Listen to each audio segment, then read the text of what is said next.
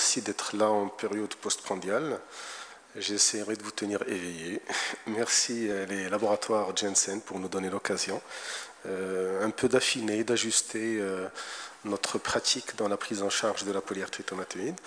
Donc on va essayer de voir les ROCO ELAR 2016 et de voir qu'est-ce qu'elles apportent de nouveau par rapport aux recommandations de la Société marocaine de rhumatologie qui ont été publiées il y a 3 ou 4 ans. Est-ce qu'il y a des choses qu'on pourrait éventuellement euh, ajouter ou affiner? On, va le voir ensemble, un peu item par item.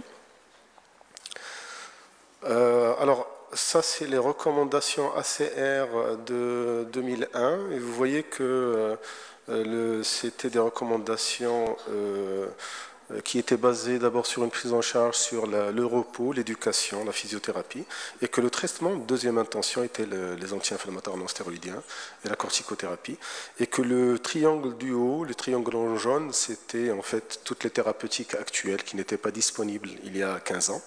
Donc ceci pour vous dire qu'on a vraiment, vraiment beaucoup avancé en matière de prise en charge de polyarthrite rhumatoïde sur les 10 à 15 ans, et vous allez voir que ça devient peut-être même un peu très compliqué.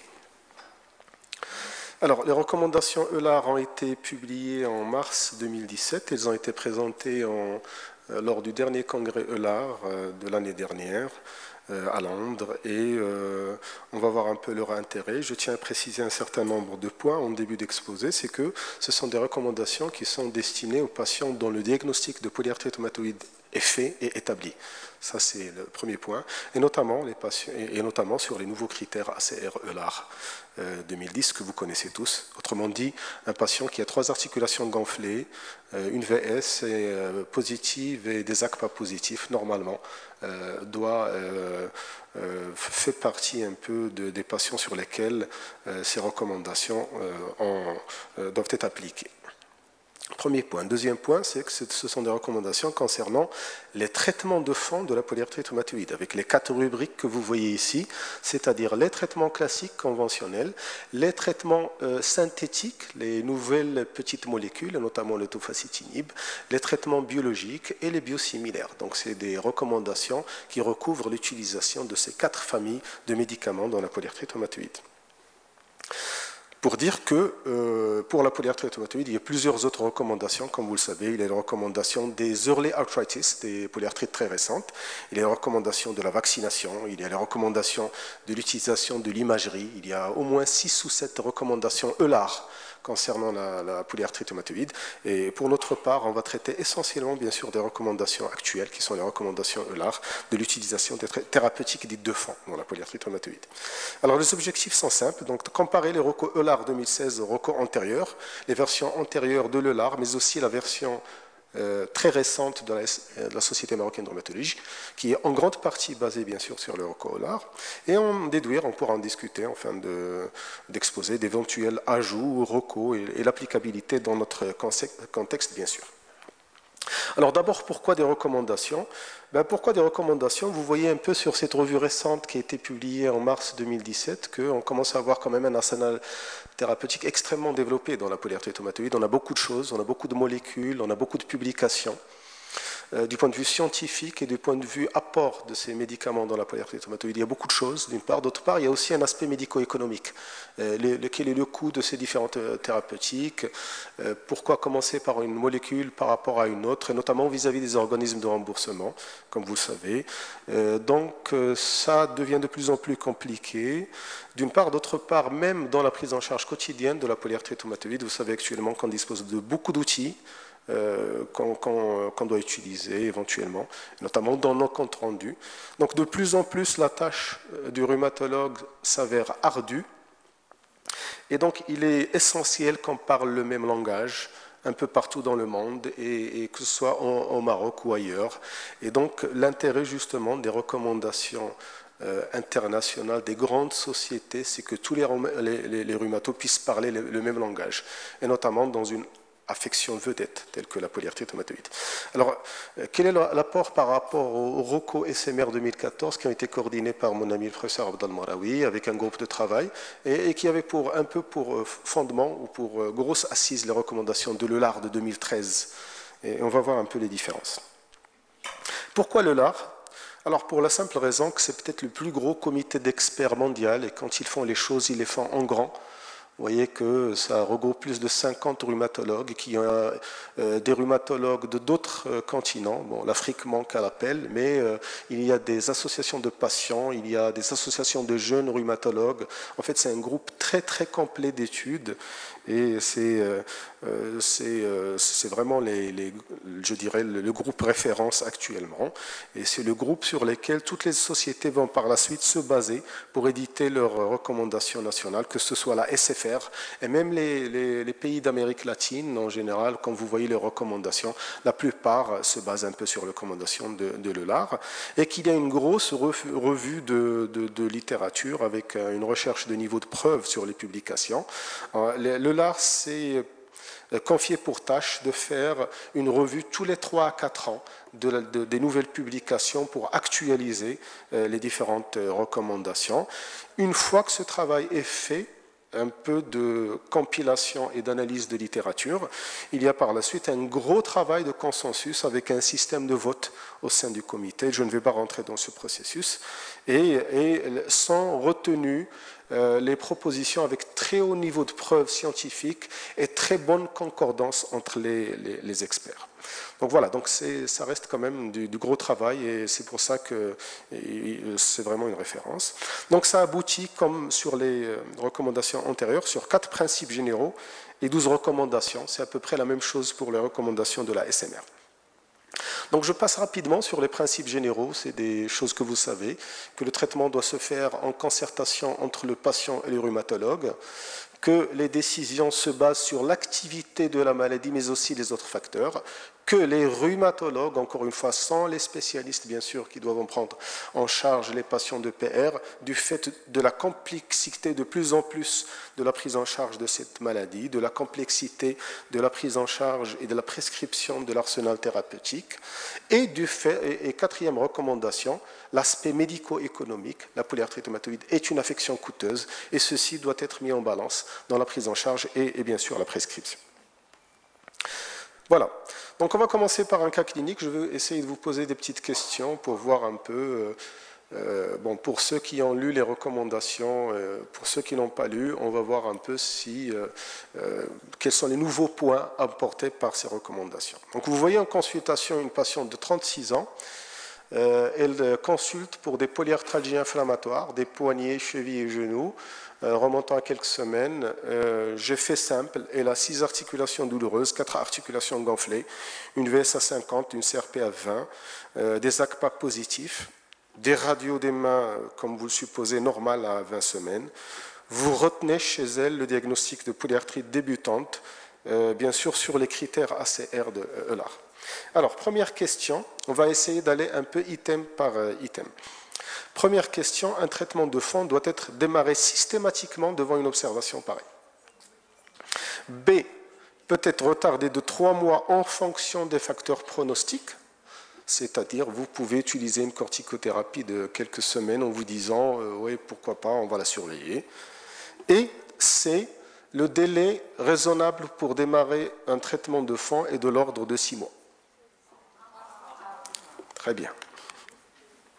Voilà, donc là, pas de changement. L'item 1 est exactement le même, c'est-à-dire le traitement de fond doit être démarré dès que le diagnostic de polyarthrite est établi, avec un très haut niveau de preuve.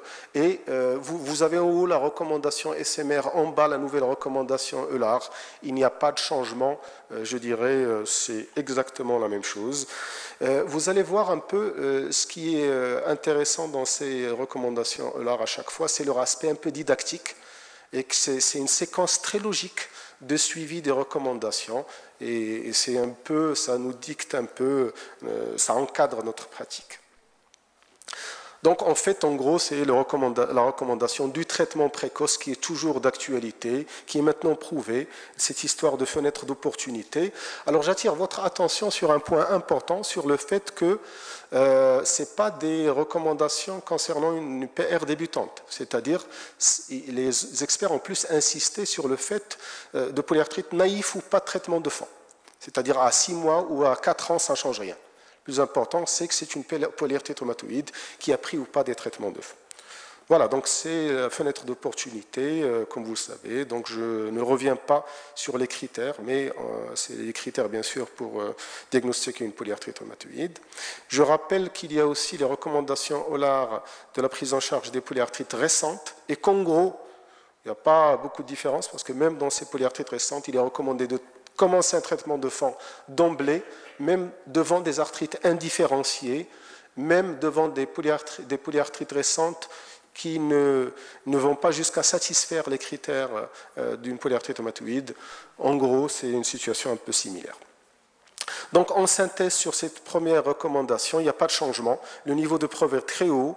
Ça implique bien sûr un diagnostic précoce. Le DIMARD classique doit être démarré dès que le diagnostic de polyarthrite rhumatoïde fait. Cet item ne précise pas le type de traitement de fond qu'il faut euh, instaurer. Voilà, donc la réponse était bien sûr A doit être démarrée systématiquement. Donc on revient à, notre cas clinique, on retient le diagnostic de polyarthrite rhumatoïde chez notre patiente. Alors, on instaure un traitement avec bien sûr un objectif. Vous savez tous maintenant qu'on traite avec objectif. Alors la prise en charge thérapeutique doit avoir comme objectif la rémission clinique en un an, doit comprendre une évaluation mensuelle tous les six premiers mois, peut avoir chez certains patients un objectif de faible activité, low disease activity, par défaut, c'est-à-dire on peut ne pas viser forcément la rémission, mais viser euh, la faible activité. Donc je vous laisse un peu réfléchir à, à la proposition. Alors, item 2, l'objectif du traitement. Donc je réponds d'emblée. L'objectif du traitement est de viser la rémission. Donc vous avez en haut la recommandation SMR, en bas la révision, l'item ELAR. Donc vous avez la rémission clinique ou au minimum la faible activité.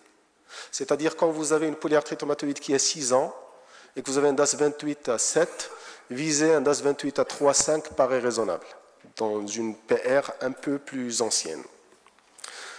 Alors, le seul changement, c'est le terme sustained, qui est rémission prolongée. Le niveau de preuve est très haut.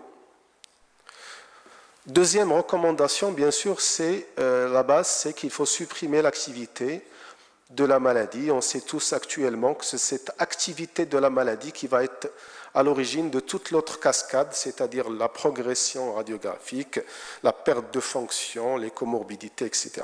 Donc le premier objectif demeure le même, c'est-à-dire supprimer l'activité tant que faire se peut, avec un objectif qui est celui de la rémission, voilà la, low disease activity, et avec cet objectif, bien sûr, de traiter avec, euh, avec objectif, ce qu'on appelle le treat to target. Je rappelle qu'il y a des recommandations dans ce sens, de comment traiter avec cible, qui ont été faites par Smolen et publiées en 2010. Et donc, euh, cette notion de traiter avec objectif actuellement euh, est une notion aussi établie. Donc, deuxième recommandation, le niveau de preuve est très haut. Le problème, c'est que ça suppose l'utilisation de critères pour suivre l'activité. Or, le problème, c'est qu'il n'y a pas un gros consensus sur quels critères utiliser. Mais par contre, Maintenant, c'est établi. Il faut avoir un objectif final à six mois. C'est-à-dire quand vous voyez la patiente ou le patient, vous dire qu'il doit être en rémission à six mois et le voir à trois mois. Et à trois mois, vous, devez être à au moins 50% de votre objectif. C'est-à-dire, dans notre cas de figure, la patiente avec laquelle on a démarré avec un DAS 28 à 6 et quelques, on, doit se dire qu'à 6 mois, elle doit être en rémission, parce qu'elle a juste 20 semaines, et que la rémission est un objectif raisonnable, et gros, à 3 mois, elle doit être entre 3 et 4. Si à 3 mois, elle est à 5 et quelques, euh, on va voir que ça ne se passe pas bien. Alors, toujours dans le même cadre, euh, le suivi de la maladie doit être fréquent. Donc ça aussi, ça n'a pas beaucoup changé concernant euh, le, monitoring. Donc la recommandation de la SMR 2014 et la recommandation ELAR 2016, euh, il n'y a pas eu beaucoup de changements. Donc c'est cette histoire de monitorer et qu'il faut bien sûr euh, monitorer de manière très précise. je ne reviens pas sur toutes les études qui ont démontré euh, l'absolue nécessité du monitoring euh, très étroit de, la polyarthrite pour euh, éviter la progression structurelle. Donc c'est à peu près la même chose sur l'item 3, il n'y a pas eu de changement. Il faut utiliser un score composite de monitoring et il faut un suivi tous les 3 à 6 mois. Donc c'est idem euh, que l'item 2. Donc c'est traité avec objectif et monitoré, donc ça n'a pas vraiment changé. Donc pour la prise en charge thérapeutique, elle peut avoir chez certains euh, patients un, objectif de faible activité par défaut, mais elle ne comprend pas forcément une évaluation mensuelle tous les six mois. Donc on revient à notre observation, donc on a retenu le diagnostic de polyarthrite rhumatoïde, on décide de démarrer un traitement de fond. Alors, qu'apportent les nouvelles recommandations? On peut démarrer au choix méthotrexate, salazopyrine ou les flunomides. On peut démarrer d'emblée par une association triple d'IMARS, genre euh, méthotrexate, salazopyrine, euh, hydroxychlorine. L'hydroxychlorine peut être indiquée comme alternative au méthotrexate.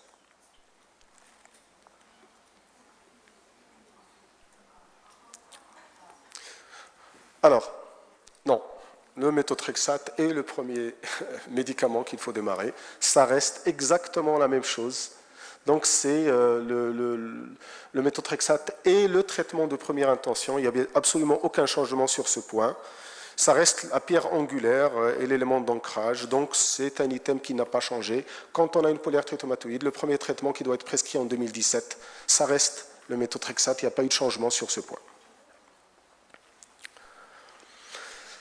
Alors, en cas de contre-indication ou d'intolérance précoce au méthotrexate, la salazopyrine ou le léfunomide doivent être considérés, devraient être considérés. Donc, en fait, leur prescription doit se faire si on a une contre-indication au, méthotrexate.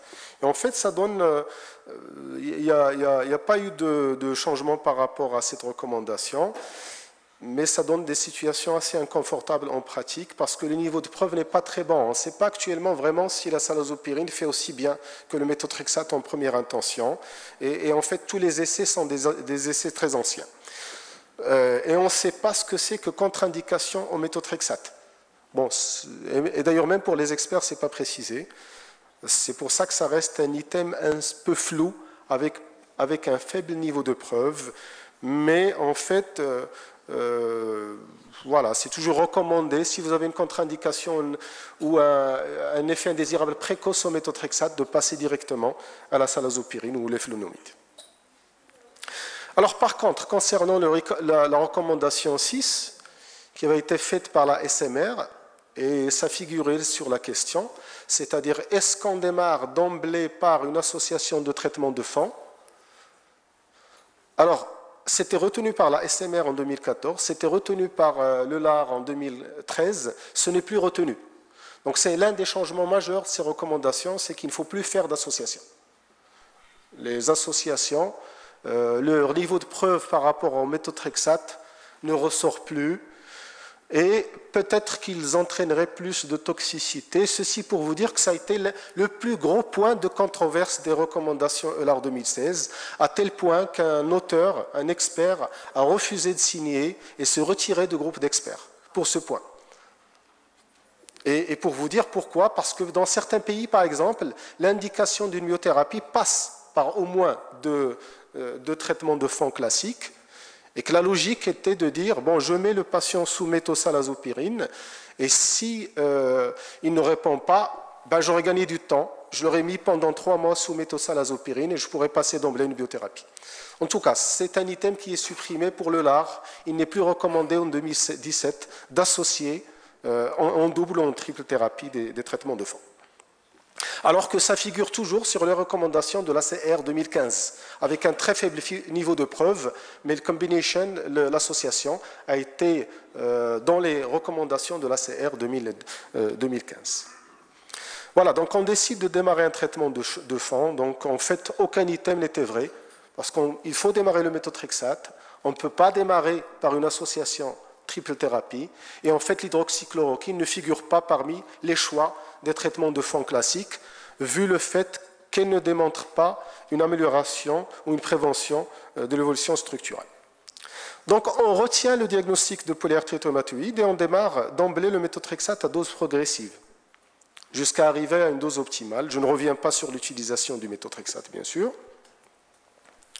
Mais vous décidez, devant l'activité de la polyarthrite d'instaurer une corticothérapie en parallèle. Alors, les bolus sont préférables à une corticothérapie faible dose d'emblée. La corticothérapie doit être prescrite pour une durée maximale de 6 mois. Elle n'est pas obligatoire chez tous les patients.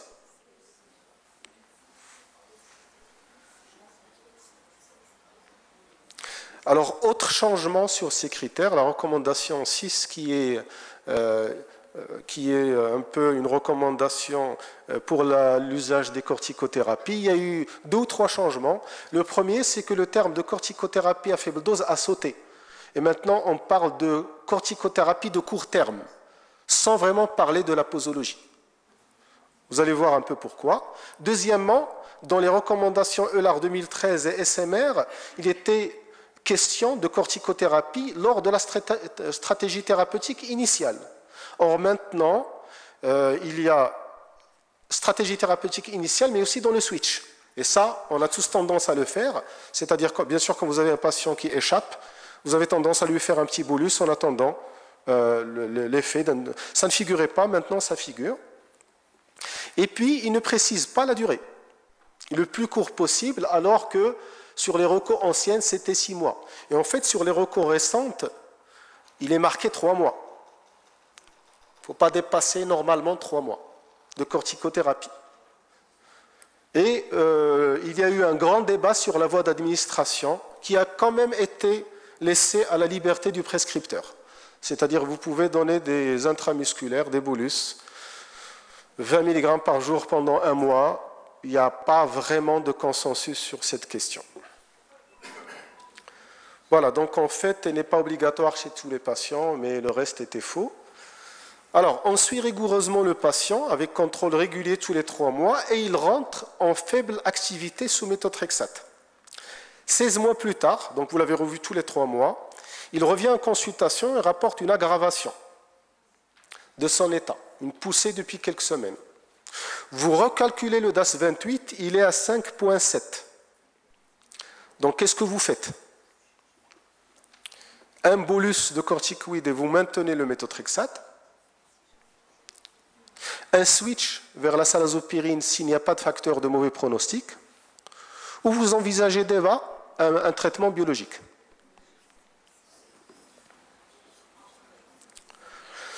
Alors, en l'absence de facteurs de mauvais pronostic, on peut switcher vers un deuxième traitement de fond classique. C'est-à-dire, dans cette situation, si le patient, euh, et bien sûr, ils ont, euh, vous connaissez les facteurs de mauvais pronostic de la polyarthrite rhumatoïde. Vous avez une polyarthrite rhumatoïde, par exemple, qui a 4 ans, qui est trop synovite, qui n'a pas encore érodé. Il n'y a pas le feu. C'est-à-dire, c'est une situation où éventuellement, on peut vraiment switcher vers la salazopyrine ou l'éléphélinomide. Donc c'est une situation qui est envisagée. Euh, on a, ça reste une situation quand même inconfortable, mais on l'a. Idem pour l'intolérance rapide, c'est-à-dire un patient sous métaux, il répond bien, mais au bout de 3 ou 4 mois, il fait une intolérance et, vous changez. Alors vous, bon, même en, possession de facteurs de mauvais pronostic, on peut switcher vers un, un deuxième traitement de fond classique avant biologique, dans les nouvelles recommandations. Alors, l'item des biologiques, qui est l'item 8, donc vous avez, si l'objectif thérapeutique, ça c'est les deux recommandations SMR, 8 et 9, elles ont été un peu fusionnées dans le nouvel item 8 des recommandations, et vous allez voir pourquoi. Parce que euh, ils sont passés à tous les traitements biologiques en première intention. Vous savez tous que pendant 10 ans, ce qui était prescrit en première intention, c'était les anti-TNF. Ben, sur les recommandations euh, ELAR 2016, vous pouvez prescrire en première intention tout ce que vous voulez, même le tofacitinib. Et d'ailleurs, ils ouvrent la, porte à même euh, les, traitements euh, qui sont en phase 3, les nouveaux anti-interleukin 6, l'autre euh, Jack inhibitor qui est le baricitinib. En fait, ils dressent une liste, ils dressent une liste de 15 médicaments et ils disent vraiment noir sur blanc, vous pouvez commencer par le traitement que vous voulez. En disant quand même que peut-être que les biologiques devraient passer avant les petites molécules.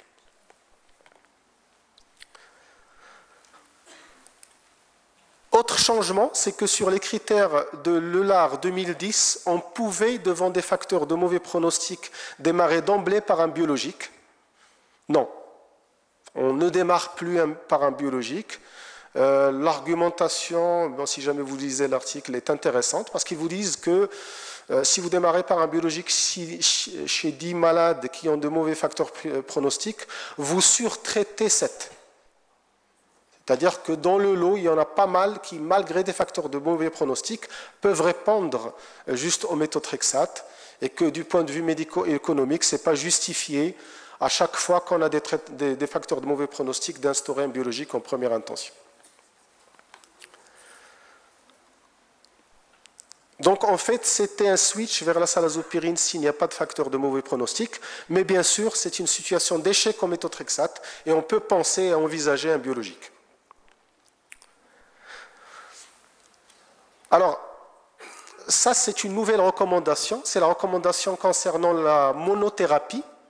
Si les patients sont en intolérance au traitement de fond classique et on ne peut pas envisager une association au ou au méthotrexate, ils recommandent euh, tous les anti-interleukine 6 et les petites molécules. Ils disent que ça peut avoir certains avantages par rapport aux autres traitements biologiques en monothérapie. Donc c'est un item consacré à la monothérapie, avec un bon niveau de preuve. Alors, recommandation 10, si les patients sont en échec à un premier biologique, vous avez démarré euh, un anti-TNF, un anti-CD20, un anti-interleukine 6, et ils sont en échec. Qu'est-ce qu'il faut faire Et quel euh, deuxième euh, biologique privilégier et quelle stratégie? Alors là, c'est open, c'est-à-dire ils disent, vous prescrivez encore une fois ce que vous voulez. C'est un peu comme le premier biologique. Vous pouvez, après un premier anti-TNF, passer à un deuxième anti-TNF ou passer à, un biologique d'une autre famille. Ils laissent ça vraiment, euh, euh, open et, vous pouvez prescrire ce que vous voulez. Par contre, ils disent clairement, si vous avez un échec à deux anti-TNF de suite, là peut-être il faut passer à un biologique euh, d'une autre famille, d'un autre mécanisme. Alors on revient à notre petit cas clinique. On a démarré un traitement anti-TNF. On suit le patient. Il rentre en rémission prolongée. Donc vous le suivez, vous le voyez tous les 3-4 mois pendant 2 ans. Vous faites vos comptes rendus, il a son remboursement ou son RAMED, etc. Il prend son traitement et au bout de 2 ans, il est en rémission. Alors, vous décidez un peu de diminuer les médicaments. Qu'est-ce que vous faites en première intention? Vous commencez par arrêter d'abord le méthotrexate. Commencez par arrêter d'abord une éventuelle corticothérapie faible dose. Envisagez à deux ans une dégression du biologique.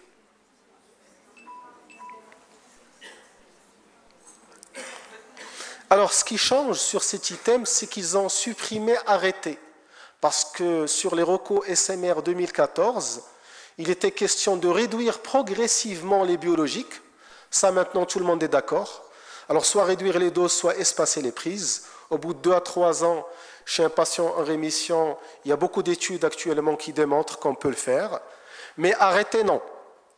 Arrêter, ils ont supprimé arrêter en disant que si vous arrêtez, vous avez 70 ou 80% des patients qui vont repartir et ils discutent un peu des facteurs pronostiques pour arrêter ou pas.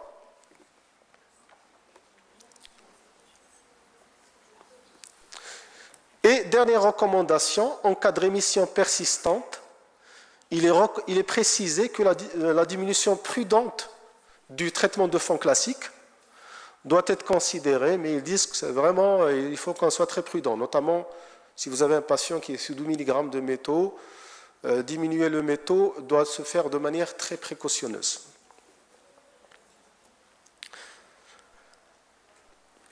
Donc euh, la réponse était euh, commencer d'abord par arrêter une éventuelle corticothérapie faible dose, sachant que vous savez que c'est difficile en pratique. Quand vous avez des patients qui sont à 3 mg ou 2 mg au bout de 5 ans, parfois ce n'est pas évident. Et on est supposé parler de patients qui sont à quelques mois. Mais c'est vrai qu'arrêter une corticothérapie chez des patients qui ont plusieurs années d'évolution, ça peut être beaucoup plus problématique. En tout cas, dernière molécule à laquelle il faut toucher, c'est le traitement de fond classique. Et il faut bien sûr envisager, au bout de deux ans, une dégression du traitement biologique. Donc voilà l'algorithme. Donc une fois que vous faites le diagnostic de polyarthrite rhumatoïde, s'il n'y a pas de contre-indication au métaux, on démarre le métaux. Alors plus ou moins une corticothérapie à court terme. S'il y a des contre-indications aux métaux, on démarre les ou salazopyrine. On doit chercher une amélioration significative à trois mois et atteindre son objectif à six mois. Si oui, on continue et après on envisage éventuellement, comme je le disais à l'instant, une réduction de la dose en cas de rémission persistante. Sinon, on passe à la phase 2. Alors la phase 2, la phase 2, donc c'est euh, échec ou toxicité.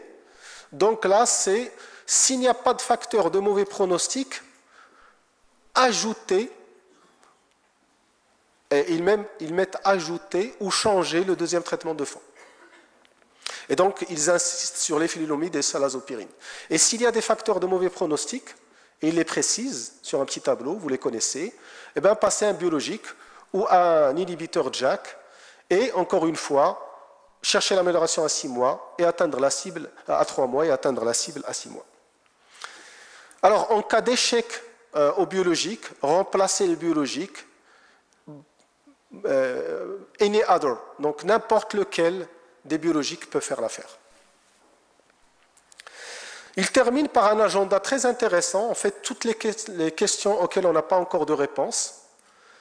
Est-ce que, par exemple, on va développer dans les années à venir des, des outils beaucoup plus personnalisés, en essayant à l'échelle de l'individu de savoir de quelle manière passer un traitement à un autre Donc il y a beaucoup, beaucoup de questions intéressantes sur, euh, l'agenda, notamment sur l'utilisation euh, de, de, la corticothérapie, etc. Donc en gros, c'est un gros travail d'expert. L'intérêt, comme je le disais, des recommandations de l'ELAR, c'est que c'est un outil pratique et didactique, en 12 items très clairs. Les changements sont minimes, mais il y en a qui sont significatifs.